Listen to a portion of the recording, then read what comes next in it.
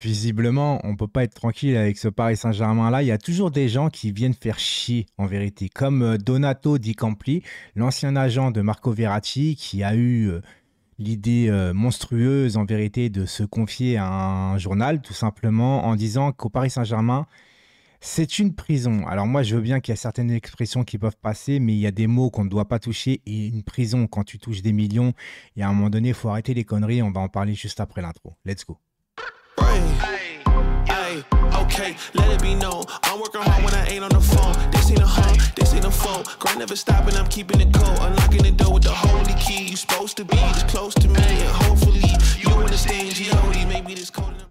Bon alors comme d'habitude, euh, n'oublie pas de liker la vidéo pour le référencement, ça m'aide beaucoup, voilà, et c'est gratuit. Abonne-toi si le contenu te plaît et active la cloche de notification pour ne rien rater des futures vidéos et des futurs lives. Alors je vais vous lire déjà ce qu'il a dit, ce Donato Di Campli, hein quand il était agent de Marco Verratti jusqu'à l'épisode qui voulait envoyer Marco Verratti à Barcelone, rappelez-vous. Alors, à Paris, les joueurs sont emprisonnés. C'est fort hein, comme moi, moi je trouve. Hein. Ils ne font jamais ce qu'ils veulent, ah bon? Mais le club le fait.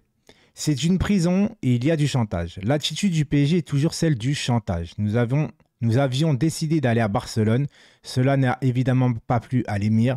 El Khalifi m'a même dit que si je continuais à essayer de faire le deal avec le Barça, Verratti allait me quitter et c'est ce qui s'est passé. Je suis sûr que Marco a eu peur, il ne l'admettra pas, mais c'est comme ça. Alors, moi, écoutez, déjà le mot prison me m'horripile un petit peu parce que les joueurs euh, par jour, ils s'entraînent 3 heures maximum par jour. Après, ils ont quartier libre. Donc, appeler ça une prison, excusez-moi, mais le mot est un peu, pour ma part, trop fort. Alors, il y a peut-être des vérités, des contre-vérités dans ce qu'il dit. Je pense qu'il doit avoir du chantage, comme dans plein de clubs. Après, il y a eu aussi la culture Qatar. C'est vrai que on achète un joueur, pour eux, c'est un roi. Quand ils en veulent plus, c'est une merde. Il n'y a pas d'entre-deux. Ça, on sait qu'au niveau de l'humain, le Qatar, c'est pas terrible, mais même en France, tu vois des trucs aussi, c'est exactement pareil. Donc, euh, avant de parler d'autre chose, ici, c'est la même chose. Maintenant, de dire que euh, moi, ce qui me dérange dans tout ça, c'est quand il était agent de Marco Verratti avec les prolongations de contrat, ce monsieur était bien content de toucher des primes des primes de renouvellement de contrat. Il était bien content de toucher ses commissions. Et à l'époque, je pense qu'il pensait déjà pareil du Qatar. Donc ça ne le dérange pas à partir du moment où il touche son argent. Et une fois qu'il ne l'a plus, bien évidemment, c'est toujours facile de parler après. Euh, et puis surtout, de, dire encore une fois, prison avec de tels prix, de telles sommes payées. Moi, je trouve ça un peu indécent de parler comme ça. Tu vois, les joueurs aujourd'hui, ils sont payés euh, en un mois. Ils gagnent à l'euro million, les mecs. Tous les mois, ils gagnent à l'euro million tu le donnes ça à une personne lambda, à moi, à vous, etc., ça change notre vie. En un mois, ça change toute notre vie. Donc de dire qu'ils sont emprisonnés, pardon, et qu'ils peuvent pas faire ce qu'ils veulent, mais Marco Verratti, avec l'hygiène de vie qu'il a, il peut pas faire ce qu'il veut, mec.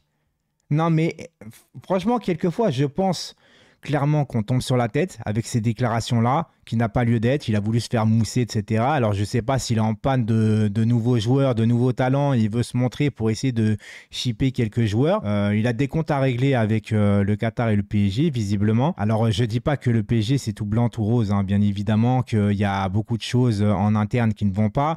On sait très bien, encore une fois, je le répète, comment fonctionnent en, vérité les Qataris et tout ça. Mais là, je trouve que les mots sont trop forts. Voilà, tout simplement, je trouve que les mots sont trop forts et que L'épisode du Barça, d'ailleurs, euh, quand il va faire sa une euh, avec euh, Verratti, le Marca, etc., c'est déjà un manque de respect vis-à-vis du PSG, vu qu'il était sous contrat et que tu n'as pas à s'afficher en public comme ça avec un autre club. Donc Verratti déjà était en faute, son agent savait très bien ce qu'il faisait à l'époque. Et Verratti, qu'on le veuille ou non, c'est euh, il n'est pas un compétiteur dans l'âme. Euh, dans l'âme, pardon. Je vous rappelle que quand il était à Pescara, il devait signer à l'AC Milan à l'époque, il me semble, l'AC Milan ou la Juve, je me rappelle plus.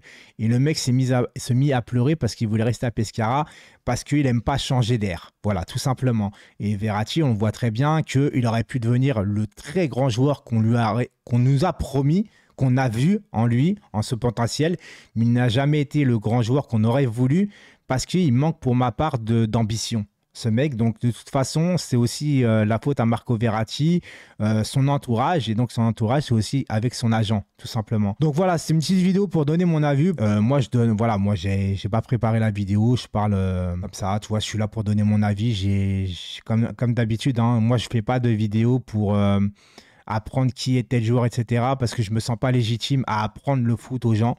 Tout simplement, il y en a certains sur YouTube, ils le font très bien. Ils ont des meilleures connaissances que moi.